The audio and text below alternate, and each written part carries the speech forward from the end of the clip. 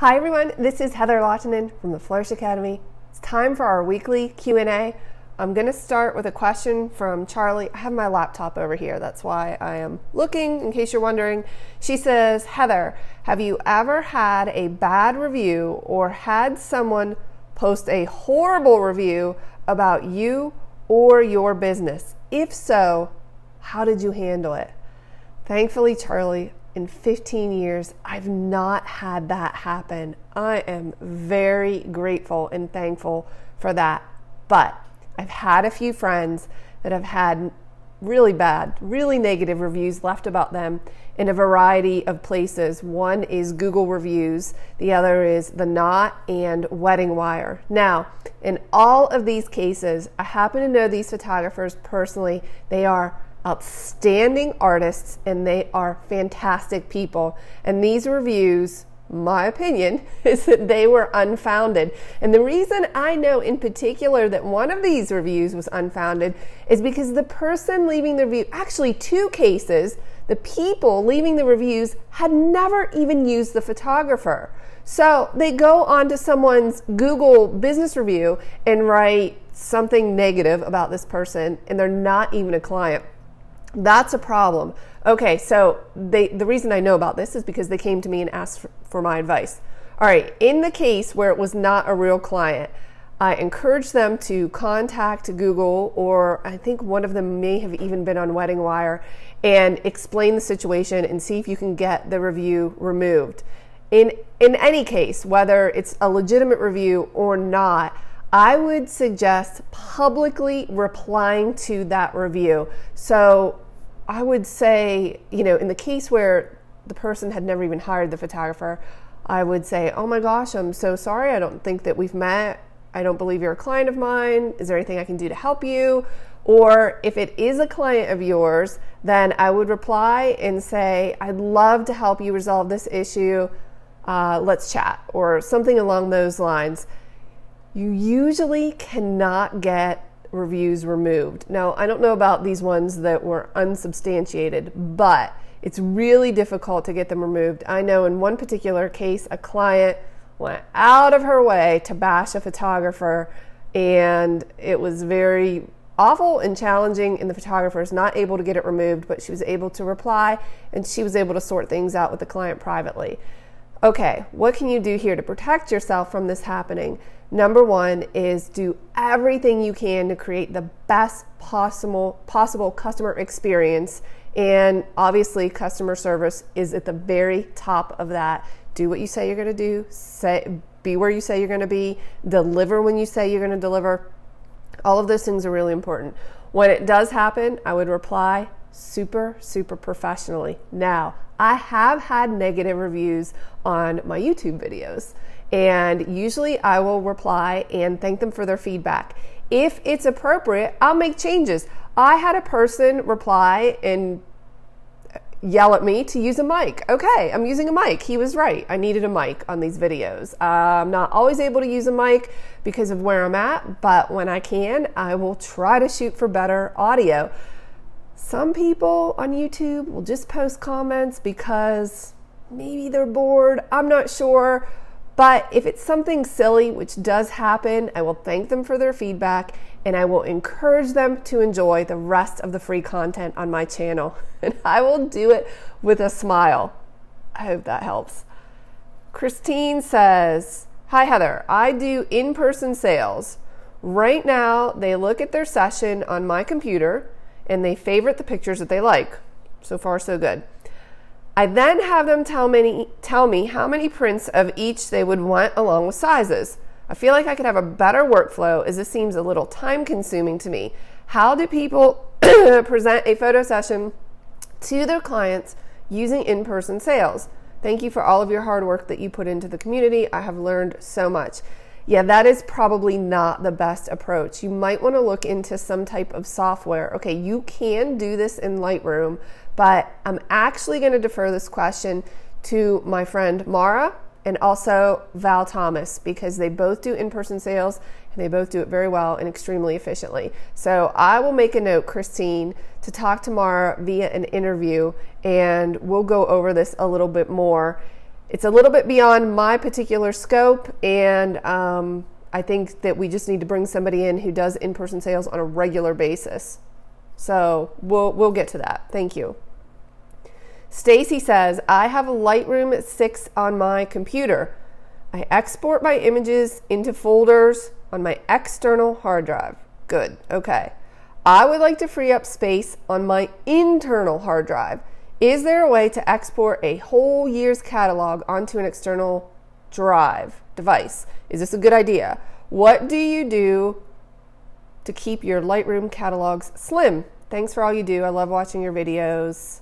Thank you. Thank you, Stacy. Okay, number one is moving forward. I would like you to create your catalogs on your external drives along with your photos. So my catalogs live where their friends live, the photos on the external drive. Okay, but that's not what you're dealing with here. What you're dealing with is internally, you must have your catalogs on your C or your D drive, your operating system drive, and you need to get that off of there for sure. You can export a catalog. I'm thinking you could probably just even move the catalog without even exporting it, and Lightroom will be able to hook everything back up. But either way, yes, is it possible? Absolutely.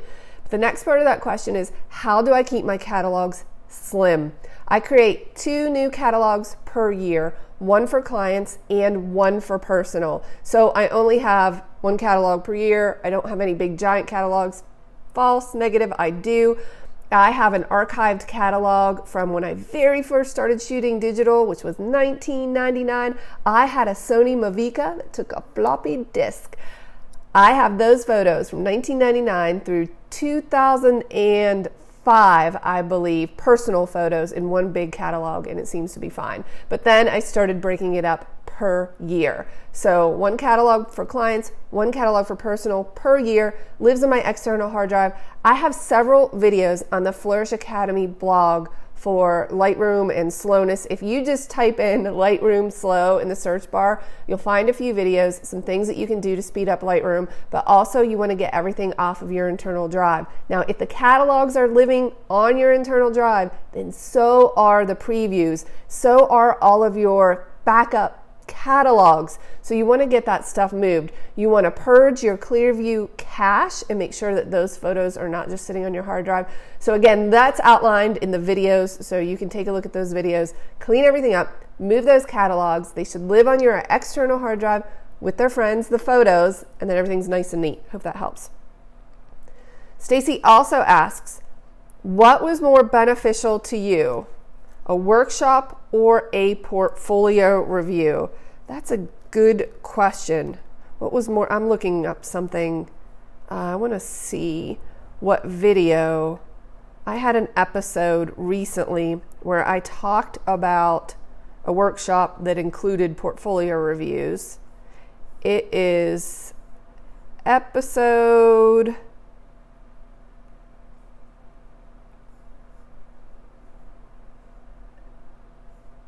episode, I'm not sure. I should have I should have known this. We're on episode 250, 60 something, and I can't remember which one it is. Oh, episode 272, where I talk about receiving feedback. But your question is Is it more beneficial to attend a workshop or to get a portfolio review? And the answer to that question is yes. Both are really important, and you need to do both. Nothing beats a workshop where you are connected with other creative professionals. Nothing. That shared experience, working together, getting new ideas is priceless. So I definitely encourage you to do that. However, I know that you are in a particular season with very small children and babies that makes that a little bit challenging. In terms of a portfolio review, that is super simple and straightforward. Everyone should do it. I have an option in the Flourish Academy where you can submit either your website, your portfolio, or and or your Facebook page and I record a video where I detail some ideas for your photos, maybe for your marketing. Um, you can request exactly what you're looking for, but so people will submit that to me I will record a video and explain how they can improve their photographs or improve their website or their Facebook page. And then I ship that video over to them so that they can watch it, have it, and refer to it. Personally, I think everyone should do that. It's inexpensive, it's an easy way to start to look at your photos and get some advice on improvement then yes, you should look at workshops and see what you can attend. Now, I talked about the feedback in that episode because some people are a little bit or a lot sensitive to that feedback. I try to approach it with a loving heart in a serving manner to help you improve your images. But if you are an extremely sensitive person, then submitting your work for feedback may not be for you. If you just want affirmation on how awesome you are, then just call your mom and she'll tell you. But if you want to improve your work, then submit your website, your photos, your Facebook page to the Flourish Academy for a portfolio review. I will record a video and get that back to you and let you know how you can improve. Now, I used to do this, and, and to some degree, I still do in private mentoring sessions. Clients will come to me, we'll talk about it.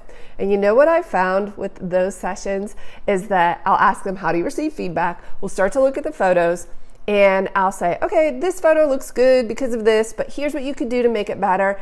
And every single time every single person the first words out of their mouth when I say, "Hey, you might want to, um, you might want to like move this person a little bit this way or turn your angle," they will say to me, "Well, I couldn't because that's where the client wanted the photo," or they'll say, "Well."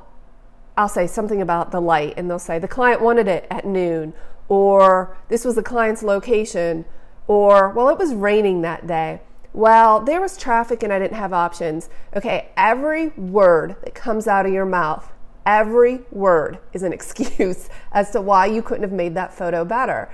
And when you do that, it puts you in this victim mindset. Sometimes I'll say to people, they'll say, well, I, you know, I'm looking at the lake right now and there are docks and maybe a client wanted a photo on the dock but the lighting is terrible. So the client goes out there, you take the photo, and then I say to you, hey, the lighting is terrible. And you say, well, the client wanted a photo on the dock. To which I say, oh my gosh, you were a victim. You were a victim of a photography lighting incident. No! Okay, take the photo on the dock, but then change something and make it better. I'm all about pleasing the client, and if they want the photo, I will take the photo, but maybe that's not the one that's gonna really represent my art or that I'm gonna submit for feedback. But so I decided, I used to do these portfolio reviews online, and so you could be anywhere, you don't have to be in my area, and we would talk it through. And every single photo, I try to give some sort of constructive criticism. Hey, and by the way, not all photos need it, some are just great. It's an awesome photo. But every one I do, every single person will have an excuse as to why they didn't get a better photo. Excuses don't make you get better. And then they'll say to me, Well, you know, I just did my best. I did my best. That's what I had to work with. I did my best. False. You could always do better. That's what I tell my kids. Don't tell me you're doing your best. You could always do better. Am I doing my best? Negative. I could always do better. Can always look for a better way to approach something. So rather than do these portfolio reviews online or over the phone where I listen to a myriad of reasons as to why this photo wasn't good, I've decided that I'm just going to record them and then you can take it and you can make your excuses all you want. I'm not saying everyone does that, but pretty close to every photo I go through, someone will say, No, I couldn't do it because, because, because, because. And then I say, Okay, I understand you're a victim. I understand you couldn't make it better. Now, listen, there are some times, depending on what type of photographer you are, you are documenting an event and you have to document what's there. Well, that's really not a reflection on you as an artist, is it? So, if you want some critique about maybe how to pose or composition or the art, then submit those photos. Uh, I got off on a little bit of a tangent there. Forgive me, both are important. Gina says, Tell me more about Trello. She's saying this because I mentioned it in a previous video. What do you use it for? How do you use it? What are you reading now? Do you have any ongoing list, podcast list somewhere? Okay, a bunch of questions. Number one, Trello is a collaboration tool. My friend Nicole Begley and I use it. We've used it for years in order to work on projects together and collaborate. You have access to it. You create boards and you create lists. You can assign tasks. You can see who's working on what. Essentially, a project management tool but a lot of people use it for a lot of really unique things and I've expanded the way I use it. I have several boards they're called with lists. So for instance, I have a board called free content ideas. Inside of that board, I have several lists. So I have a Lightroom list, I have a Photoshop, I have a miscellaneous, I have business, all different types of lists. And whenever I think of something or I see one of you asking a question, then I capture that in the in the Trello board in that list so that when I am in need of content to generate, I can go to that list, see what everybody's talking about, and just grab it. It's just a way to organize and create. I also have um, a board called Ideas and Exploration. So I use that board in order to capture workshops that I'm interested in, or possibly books or education I would like to explore. I love Trello. And one of my favorite things to do when I have a moment okay this is bigger than just trello is invest in my education so i'll i'll go on youtube and search for how are people using trello because you can always get new ideas and you think oh my gosh i hadn't thought of that and mara and i use it to collaborate we love Trello. You could probably use it. Um, I use it for private mentoring clients. So maybe as a photographer, you could use it for clients to track certain things. It is awesome. I love it. Okay, what am I reading now? You asked me. Well, I just finished Big Potential by Shawn Achor, and I loved it. I devoured this book. I recommended it to Mara. She had it read in a day. Look at all these notes. So good. It is everything the Flourish Academy stands for, which is working within a community and a team so that we all grow together. It, oh my gosh, cannot say enough good things about this book. Pick this one up, Big Potential, love it. And I just started Successful Women Think Differently by Valorie Burton, and I love her. I love her, Valorie. I love you. You are amazing. I read what she has several books. Let me see if they're listed here. And I read one of them last year, and I decided at that point that I would probably read every book she writes. I love her style of writing. It's very straightforward, easy to read, actionable strategies. I believe she's a life coach, which I, I have my certification in life coaching, so I can relate. And she's also Christian based and biblical, which I love. So, Valorie, I love you. Thank you. Okay, podcast. You had said, Gina, that you were in a podcast rut and you needed some ideas. Okay, I want to tell you guys something. You know how I love to read these books? You know how I read like a gazillion books? I have the list on the website. I have a page dedicated to all of the books I read. I have my favorites list. I love it. I know that all of you do not have the time to read all of these books. I devour them. My goal is one book a week. It's been that way for at least 10 years. That's about 50 books a year for 10 years. That is so awesome. But I know you don't have time. So, Mara and I are starting a podcast where we go through these books and you can listen to the podcast and we break it down if you don't have time to read the book. Then, if you're interested because you heard it on the podcast and it's something you would like to learn more about, then obviously you could pick up the book and read it. And last week, listen to this. Last week, Mara came over in this studio that I've built in the basement and we recorded our first eight episodes. It will be launching in March, so keep an eye out for that. Hopefully, that will get you out of your podcast rut. It's her and I talking about the books. Sometimes we agree, sometimes we disagree. The episodes are all going to be really short, between probably 20 and 25 minutes. So good. I think that you're going to love it. Okay, but in the meantime, the podcast that I'm listening to currently, I love anything Dave Ramsey. So, any um, EntreLeadership or Christy Wright, the Business Boutique, love those. I love Donald Miller, building a story brand. That's something I listen to all the time.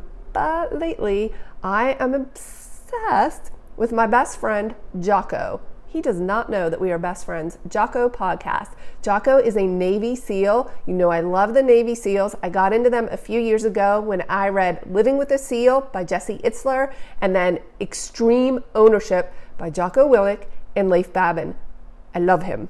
He is so hardcore. Ah, it's fantastic. Okay, his podcasts are obviously you can listen to it on any podcast player, but he also has the videos on YouTube, which is what I watch when I'm on the treadmill every day. His podcasts are like three hours long, definitely long form, but I just love it. And I, in fact, while I'm here, Craig told me that I got my t shirt from Jocko. It says Discipline Equals Freedom. That's a new book of his that I've read. I love it. He's coming out, him and Leif are coming out with another book this fall. I will read it the minute it hits the shelves.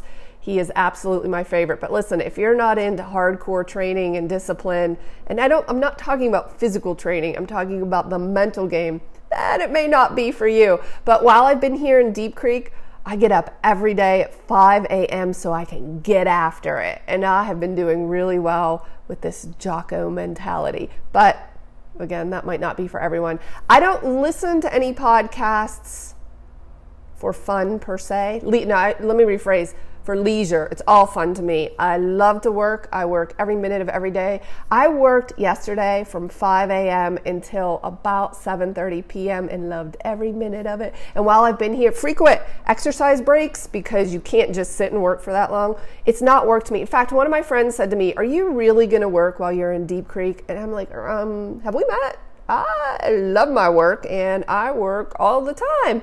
Uh, but according to my watch, I got in all my exercise minutes the past several days. So what I've done is I work these stretches and then I exercise. I'm getting off on a tangent, but this is all because I'm super hyper focused. Where do you get that kind of focus from? Well, it's about understanding your goals, your vision, your dreams, what your purpose is, what your work is about. I'm really connected with that, and I love the Jocko podcast. Um, let me know if you start reading these Navy SEALs books or watching these videos. Get after it. Okay. Marie says, Hi, Heather. I'm still working on my website. What is the ideal file size for the photos on the site to maximize resolution but decrease load time? Also, I've already exported the photos I'd like to use on the site from Lightroom. Can I adjust the file size after the fact? If so, how do you recommend? Or should I use Lightroom to adjust the file size before exporting? I have Photoshop, but I tried to avoid it unless absolutely necessary.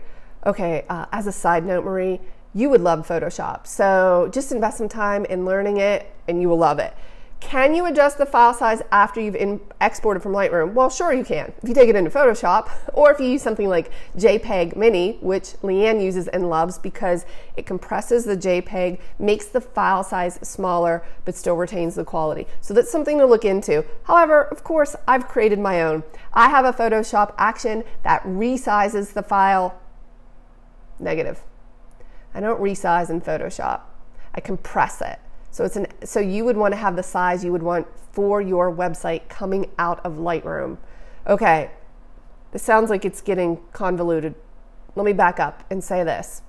In order to export for your website, yes, you should resize the longest side, whether that is landscape or portrait, the longest size for your website depends on your website layout. So, for instance, it might be something as small as 800 pixels, but it could be upwards of 2,000 pixels, depending on how you have your layout set up. So, I think on the Flourish Academy blog, I have my photos set to 800 pixels on the long side, whether that is landscape or portrait, whatever the long side is.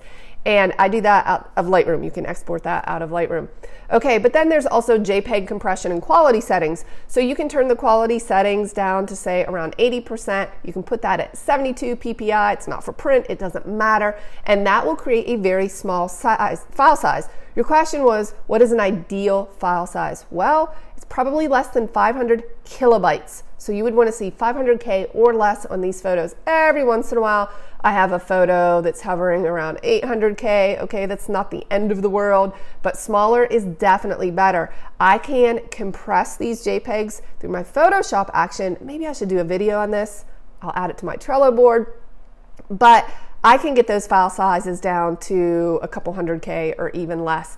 The smaller, the better, especially over time. Think of this weddingsbyheather.com has almost 15 years of content. That's insane. And I didn't always do a good job at this back in the day, but now I do a better job and I've had to purchase more space with GoDaddy. But anyway, keep them as small as you can. Yes, th- there are a lot of questions there.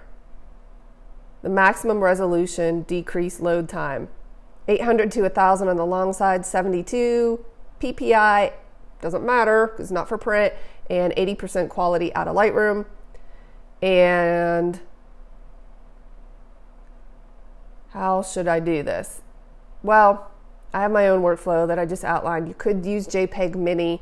That's really good for compression. Leanne uses it and loves it. So definitely check that out. I'm just trying to see if there's a better way to help you with what you've currently done. If you've already exported from Lightroom, the only way to adjust the files after the fact is Photoshop or JPEG Mini, unless you want to go back and export again from Lightroom. By the way, exporting again from Lightroom will only take you about 5.2 seconds. Select all of the files that you wish to upload. I use filters in order to grab the files that I want for the website six on my keyboard, red, I change that to website, blog, I call it. But you export all of those at once. You just have to change the export dialog settings. It wouldn't take you long at all. Okay. Julie asks In Lightroom, how do the first highlights, shadows, whites, blacks, sliders, and I think she's talking about the ones in the basic panel, how do those differ from the tone curve where the highlights, lights, darks, and shadows are. They seem so similar, but it seems like people tweak both. What's the difference of the two? Okay, this is interesting. At a high level, they both do very similar things. And for a lot of people, it's two different vehicles to get you to the same destination. Okay, but the truth is, the highlights and shadows sliders in the basic panel have masking built into them so that it only impacts certain tonalities of, say, the histogram. So, for instance, if you have shadows in the basics panel and you move the shadows slider, Lightroom will only impact shadows. That is, it will mask out highlights. It's using a masking algorithm so that it doesn't impact highlights, just shadows. The tone curve does not do that. So, no masking in the tone curve. When you're using the tone curve, any of those sliders are being applied to the entire image, all tonalities, all ranges. So, that's the main difference. It sounds complicated, it's not. Think of it like this in the basic panel, it's only impacting, only the highlights, shadows, highlights, shadows, whites, and blacks, only impacting those areas of tonality in the histogram. In the tone curve, it's impacting the entire image because there's no masking built in. I think you you've been working with this for a long time. I think that will make sense to you. But for anyone who's new, if you have any questions, let me know and I'll try to address it. Marie posted for boudoir photographers. She said, How do you back up your images? I'm not a boudoir photographer but do it for a few close friends and obviously want to keep their images safe, obviously. Probably over analyzing, but I want to use a super secure backup service besides my external hard drives. I used to photograph a ton of boudoir, and that's Mara's main business right now. And when anyone ever says, How secure is something on the internet? I mean, nothing is secure on the internet.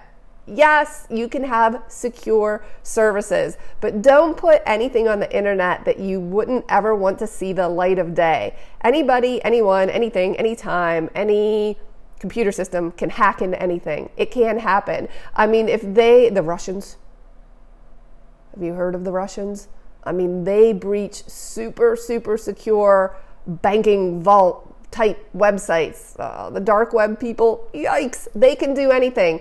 So is anything super, super, super secure on the internet? Negative. How could it be? So if you're really concerned about this, I wouldn't back these files up to the interwebs. I wouldn't do it. I would keep them on a couple external hard drives, maybe two, maybe you have a Drobo with some type of RAID 5 array where it's spread across several drives. But if you're really concerned about it, then I would only keep them locally. That's the only way to be super, super secure about it. I hope that that helps.